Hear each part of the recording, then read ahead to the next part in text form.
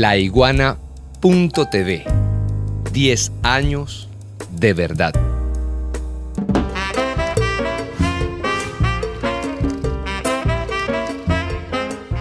Asimismo, tras conocerse que la Unión Europea planea transferir los activos rusos congelados en bancos occidentales a las arcas de Ucrania, el canciller Sergei Lavrov tachó los actos de robo y criticó al jefe diplomático europeo, Josep Borrell, por actuar no como manda su posición, sino como manda un jefe militar.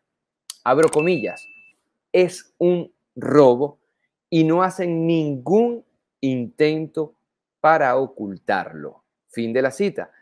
Así manifestó el diplomático este martes ante lo expresado por Borrell en la jornada anterior en una entrevista concedida a The Financial Times.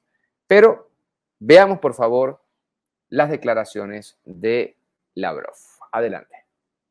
Josep Borrell es famoso no solo por esta afirmación, no solo por sus ideas en el campo de la confiscación de bienes ajenos, sino que, como recuerdan, hace poco dijo que la crisis ucraniana se puede resolver exclusivamente de manera militar. No le vendría mal recordar el nombre de su puesto. Es el jefe de la diplomacia y no el jefe militar de la Unión Europea. Sin embargo, no sé, tal vez en un futuro cercano veamos que se elimine este puesto de jefe de la diplomacia de la Unión Europea, porque la Unión Europea ya no tiene prácticamente una política exterior propia solidarizándose plenamente con los enfoques que impone Estados Unidos.